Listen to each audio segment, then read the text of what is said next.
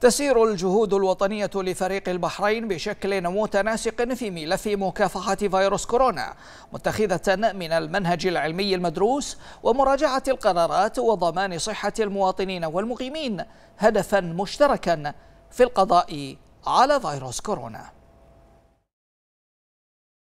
في ظل الأرقام المشيرة إلى ارتفاع معدلات حالات الإصابة بفيروس كورونا وتخطيها حاجز الألفي إصابة للمرة الثانية على التوالي.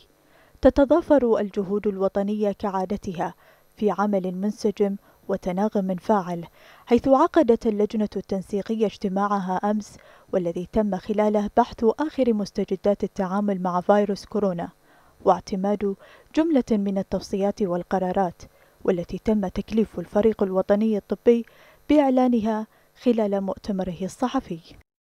وبناء على زيادة الأعداد في الحالات القائمة في الفترة الأخيرة فقد تقرر بدءا من يوم الجمعة الموافق 21 مايو 2021 لغاية 3 يونيو 2021 ما يلي. قصر أو اختصار دخول المجمعات التجارية للمتطعمين الذين أتموا 14 يوما بعد الجرعة الثانية والمتعافين. قصر دخول مراكز التسوق والمحلات التجارية للمتطعمين الذين أتموا 14 يوما بعد الجرعة الثانية والمتعافين. حصر الخدمات الداخلية كالمطاعم دور السينما الصالونات وغيرها. للمتطعمين والمتعافين حصر الحضور من المراجعين في مراكز الخدمة والمكاتب الحكومية على المتطعمين الذين أتموا 14 يوما من الجرعة الثانية والمتعافين. التشجيع على قصر التجمعات الخاصة على ست أشخاص فقط.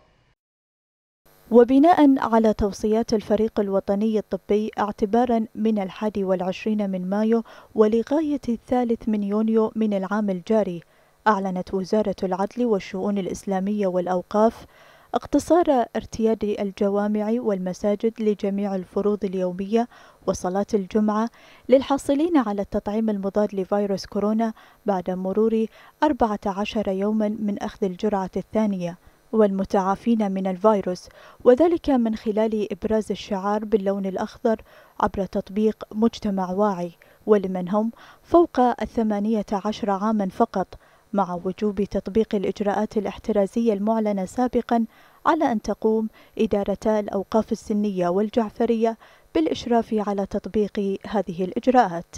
كما جاءت توجيهات جهاز الخدمة المدنية كالتالي اقتصار دخول المراجعين لمراكز الخدمة والمكاتب الحكومية على الحاصلين على التطعيم المضاد لفيروس كورونا الذين أتموا 14 يوما بعد الجرعة الثانية والمتعافين من الفيروس وذلك من خلال إبراز الشعار باللون الأخضر عبر تطبيق مجتمع واعي ولمن هم فوق الثمانية عشر عاما فقط. بدورها أعلنت شؤون الجنسية والجوازات والإقامة بأنه ابتداء من يوم الأحد الموافق الثالث والعشرين من مايو سيقتصر دخول القادمين من جمهورية الهند وباكستان وسريلانكا وبنغلاديش والنيبال على المواطنين ومواطني دول مجلس التعاون لدول الخليج العربية وحاملي تأشيرات الإقامة للقادمين من هذه الدول.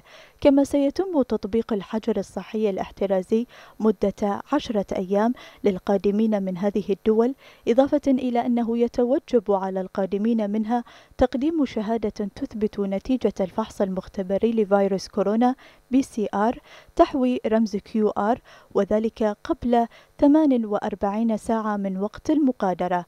وسيتم كذلك إجراء الفحص المختبري عند الوصول وإجراء فحص مختبري ثاني للقادمين الذين سيقيمون في البحرين مدة تمتد أكثر من خمسة أيام وفحص مختبري ثالث بعد عشرة أيام من تاريخ الوصول للقادمين الذين سيقيمون في المملكة أكثر من عشرة أيام.